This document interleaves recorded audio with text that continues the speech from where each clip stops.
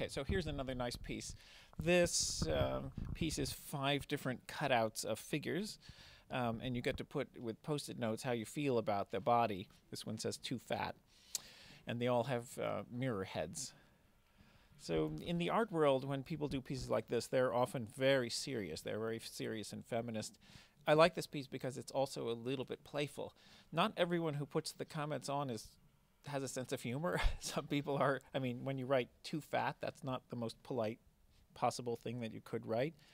Uh, but some of them do have a sense of humor, and that's a great thing because the the art world is very serious about gender relations and uh, power relations of between genders. So I like this piece a lot, especially because the you have the little post-its on a table here, very informal, and you can write something and run away before anybody sees what it is.